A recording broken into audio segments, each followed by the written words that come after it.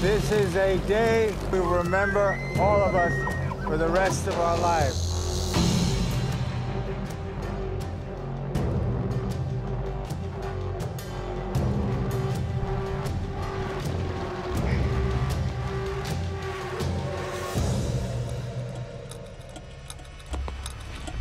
Man, that's a big bear right there.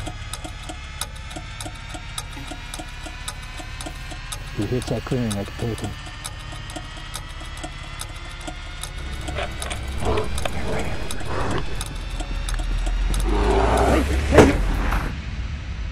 Is that close enough for you? You're really experiencing Africa for the first time in many different ways.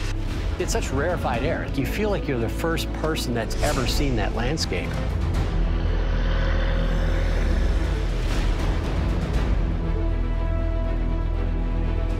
When a hippo comes at you in the water, it'll wake you up in a hell of a hurry.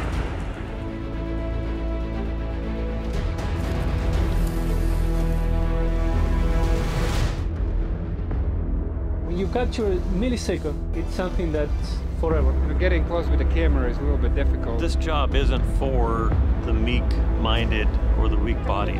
There are no retakes. These things only happen once.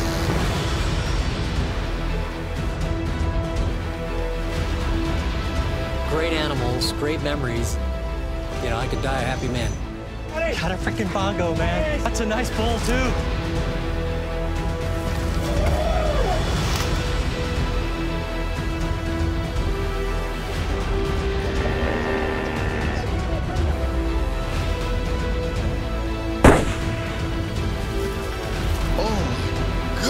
What the hell?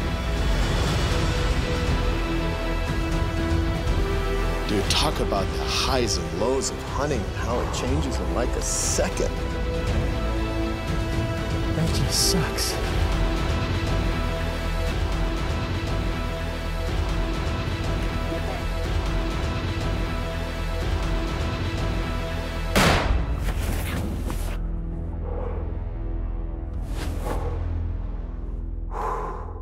Did that happen? Did that just happen?